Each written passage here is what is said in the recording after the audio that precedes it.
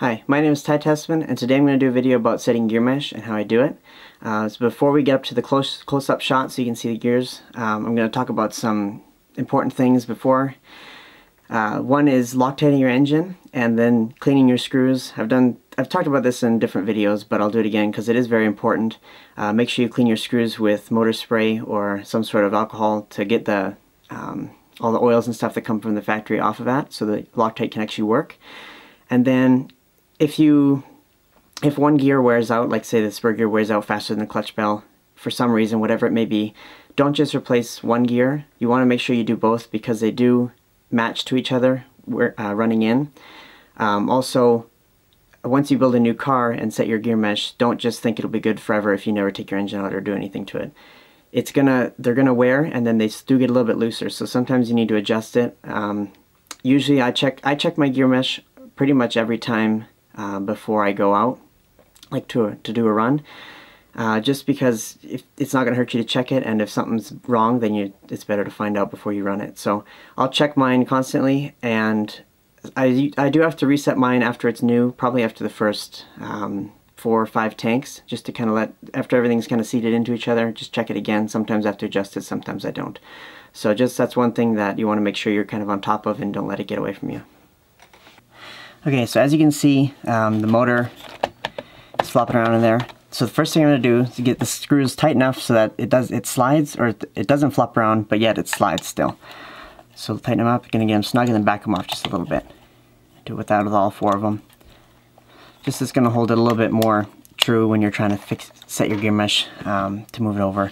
So then I'll take, I'll go underneath and push it closer to the spur gear and then what I'm doing is holding the clutch bell and wiggling the spur gear. So I'm going to reach under and grab the, the clutch bell from the bottom or from the top, which is underneath right now, and there's no play there. You can hear that? There's no play and it's it's too tight, so you can kind of hear it as well. Make sure those are loose enough. Wiggle the motor over just a little bit. And I'm going to do the same thing again, hold it, and check for play. There's more play, but still not quite enough. It's still quite noisy. Um, it's not really a lot of play, so I'm to move it over some more. And go under feel it again. And there's some knock there. Hear that knock?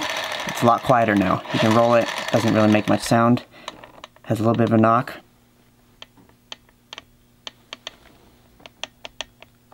So then I'm going to go ahead and tighten them up. Be careful not to move it. I'm to go through all four. Just snug them up just so it holds it still while you go to Loctite everything. And then once you do that, I'm going to check it again, make sure it's good before I Loctite everything in place. I like to do the roll test too, just to make sure um, it sounds right and it's not, something else isn't misaligned or rubbing or something. So what you're looking for is that little knock there. You hear that knock? And you don't want too much of a knock, you don't want too little of a knock, which is kind of, it's very hard to explain uh, over video especially, but you basically want your stuff to be free without being too loose that it just knocks the tip of the teeth off as you're running. You want to have a good mesh. And then, um, like I said before, you want to make sure you check that because when they do wear together, they might get looser and you might have to readjust it back tighter again.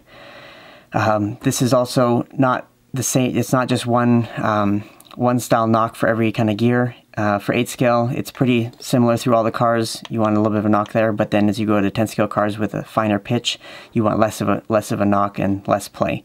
And then when you go to even touring car, is even less because their gears are um, the teeth are tighter, so you need less play. But for this one, that's good. And now I'm going to go ahead and Loctite everything. So take each screw out, get some screw glue on a poker, and apply it to the screw, and put it back in. And when these, you want these really tight. Like you want to just really crank them down because you do not want your motor moving. I'm to go get some more screw glue on there, just put a little bit of coating on there. Down.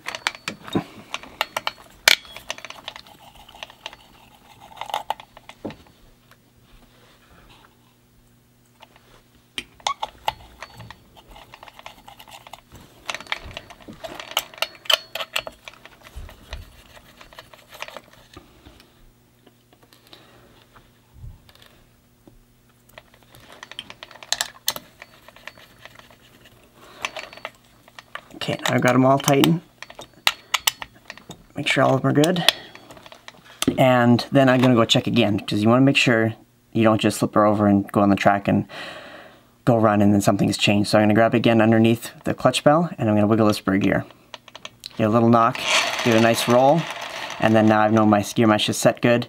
Um, some cars, like the older XB8s um, and XT8 had just a round hole in the chassis, which was a little bit more challenging to get the motor straight, but they've now went to slots, which is super easy to get it straight and aligned, so you don't have to really worry about that anymore. But if you have a car that's like that, you want to make sure there's equal gap between everything here. Um, and then if you want, you could even flip it over once you think you got your mesh set and make sure the engine is straight to the center diff. Uh, it's just going to make your gears wear better if they're straight rather than being at two different angles. Um, so yeah, just keep that in mind if your car's like that. Keep an eye out for that as well. Okay, that's how I set my gear mesh and the steps I take to do it. Hopefully it was helpful. Uh, thanks guys for watching and see you next time.